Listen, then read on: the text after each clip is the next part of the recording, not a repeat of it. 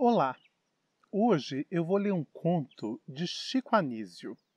Quem conhece só a obra televisiva de Chico Anísio não sabe que ele é um escritor de uma pena finíssima, de grande bom humor. O conto que eu vou ler se chama A Mulher do Dentista e está nesse livro que se chama O Tocador de Tuba. A Mulher do Dentista se o senhor entender, pode sair perguntando nos quatro cantos da vila o que é e como é, o que faz e o que não faz a mulher do dentista.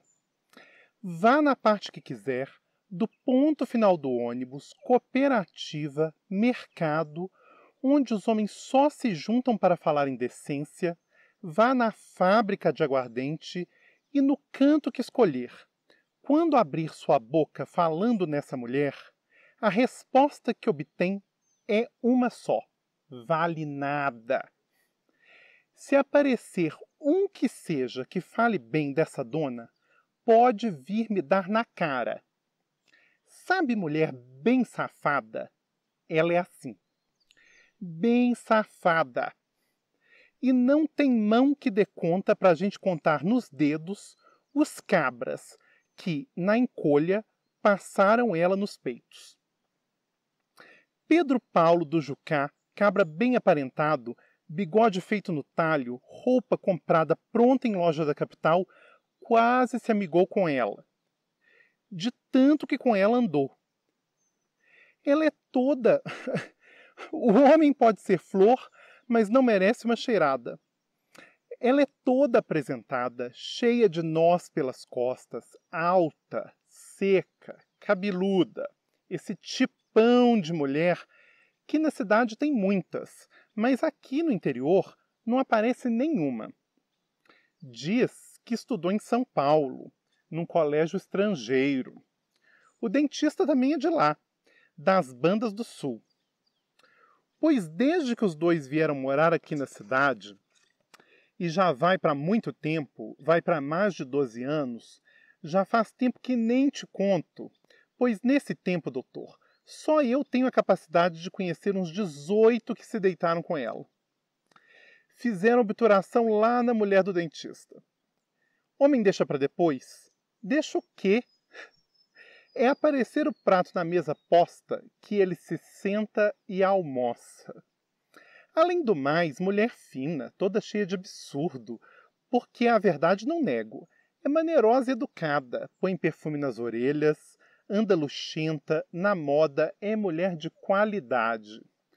Eu, por mim, modéstia à parte, não sou bicho. Sou não.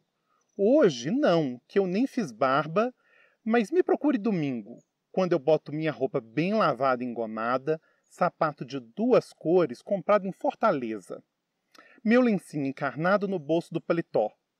Dia de semana, não, porque dia de trabalho não merece esse capricho. Uma vestimenta melhor.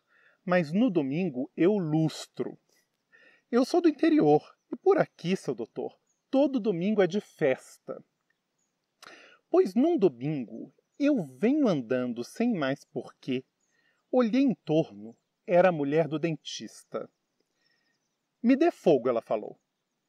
Olhe só, me dê fogo. Foi assim que ela falou. Eu desaprecio muito essas mulheres que fumam. Não tem coisa mais cruel do que uma mulher soltando fumaça por boca e venta. Os peitos dela por dentro devem viver encardidos. Mas ela pediu fósforo e eu disse: Não tenho não, mas dou jeito.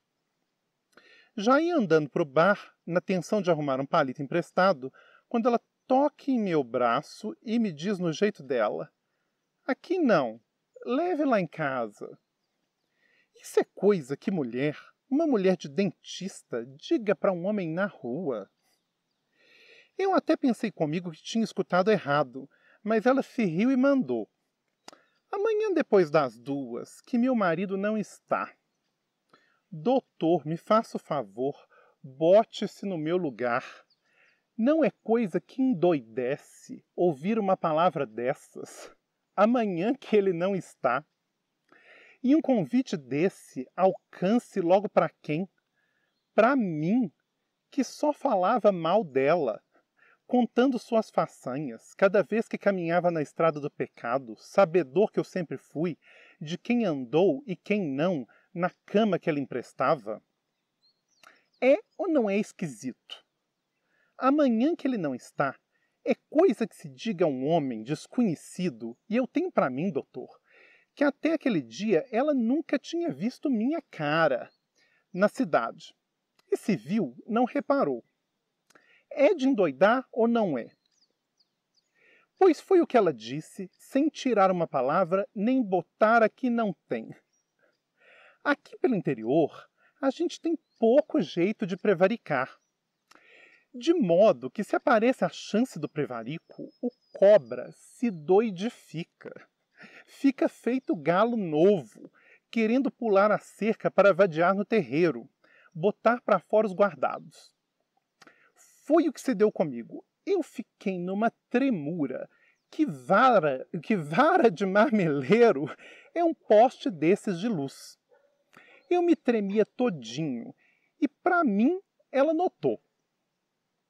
Ela aí foi caminhando para o lado onde morava, foi andando e repetindo depois e repetindo, depois das duas, ouviu?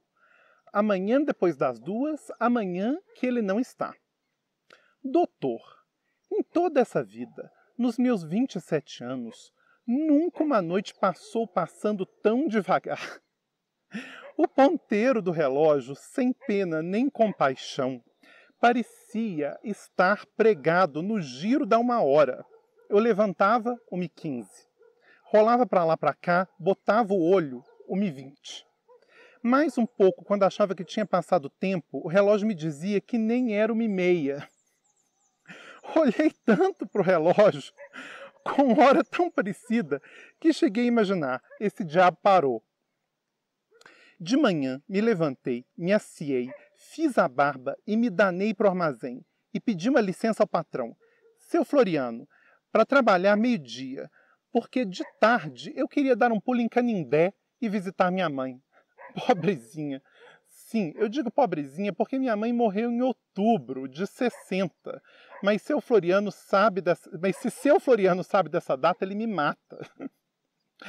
Pois seu Floriano disse: está certo, pode ir. Eu passei a manhã toda trabalhando em faz de conta, sem me afastar do relógio, até que deu 12 horas. Eu disse até amanhã, fui em casa, tomei um belo de um banho, frasco de cheiro, um talquim, sapato de duas cores, que para mim era domingo. Era mesmo terça-feira, se não me engano, de dia, mas para mim era domingo e domingo feriado. Doutor, o senhor conhece a mulher que eu estou falando? Ela é mulher do dentista, como já disse, se penso. Se conhecesse, doutor, o senhor bem que aprovava o fato de eu achar que o dia de me encontrar com a danada era domingo dos gordos. De uma hora para as duas, demorou cinco horas. Ó, oh, o tempo para remanchar, quando a igreja bateu avisando às duas horas, eu senti um calafrio que nem sei como é que foi que me sustentei nas pernas. Ah, é agora, eu pensava. Não é que aquela mulher tivesse minha simpatia. Inclusive, eu, quando abri a boca para falar nela, era só para chamar ela de tudo que ela fazia por onde ser nomeada. Mas nessa hora, doutor, ninguém escolhe seu caldo. O que vem para a mesa é sopa. E ainda por destaque, eu nunca tinha sabido como era uma mulher de gente de muitas posses. Haja vista que até aquela ocasião, a melhorzinha que tinha estado na minha casa tinha sido a empregada do professor João Faustino, uma sarará miúda que falava que já tinha feito até a admissão. Duas e quinze, eu saí pela rua aqui de trás e tomando jeito e conta de ninguém me enxergar, porque para todos os efeitos eu estava no Canindé visitando minha mãe, que faleceu em 60, mas seu Floriano pensa até hoje que ela está viva. Duas e meia eu cheguei e bati manso na porta. O meu coração pulava feito sapo quando chove abriu-se a porta e aparece, sabe quem?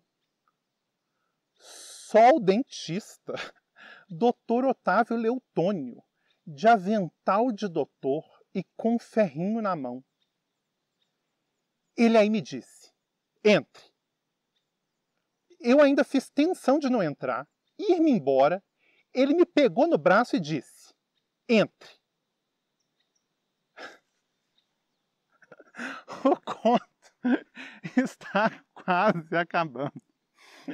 Se você quiser saber como ele termina, procure, por favor, o Tocador de Tuba, de Chico Anísio. Esse que está na minha mão é da editora Rocco. É, é, realmente muito interessante, porque é um Chico Anísio diferente, é um Chico Anísio novo, um Chico Anísio muito, muito, muito surpreendente para quem só conhece o Chico Anísio da televisão. Ele vai, assim, do delicado, do comovente ao escabroso, numa velocidade incrível. São contos, assim, imperdíveis. Então não perca a oportunidade de conhecer esse Chico Anísio, que nem todo mundo conhece, e até a próxima leitura.